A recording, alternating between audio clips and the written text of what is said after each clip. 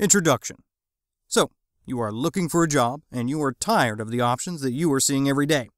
You may not be college educated or may have a degree, but that job or career you are looking for is just not there. You don't want to work at a fast food restaurant, a gas station, a big box store, or other retail store where the pay is minimal and the hours can be tough. You sacrifice time with your family to work at a retail job almost every weekend and holiday without fail. There has to be a better way. And there is. If you look beneath the surface, there are literally a ton of jobs that can be had that are nationwide that pay higher than traditional retail, and most give you the freedom back of making your own schedule and being able to be with your family on the weekends and holidays. Sound too good to be true? No?